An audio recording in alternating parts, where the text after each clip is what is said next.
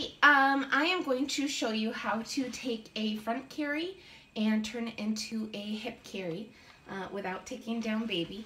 Um, this is one of my favorite carries to do. This is why one of the biggest reasons that I love cross straps uh, on a soft structure carrier. Um, and I love it for if you're going to the post office and you need to sign something and baby's in your way, um, or if you are still nursing a giant toddler. Um, I am using a Beco Gemini uh, because this is what I had right here.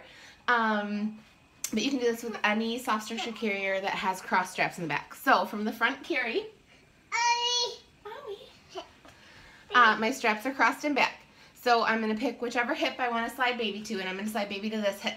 So I am going to support baby and gently loosen the buckles a little.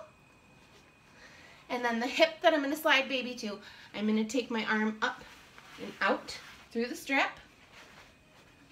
Twist baby over to my hip. And then I can just tighten up the straps as I need. There we go. So all I've done from here is just twist. And then uh, this is a great place to nurse those bigger babies. And then when I'm done nursing, I can, again, just loosen if I need to. Hop and transfer baby over. Slide my arm back down into the strap. And then I'm back.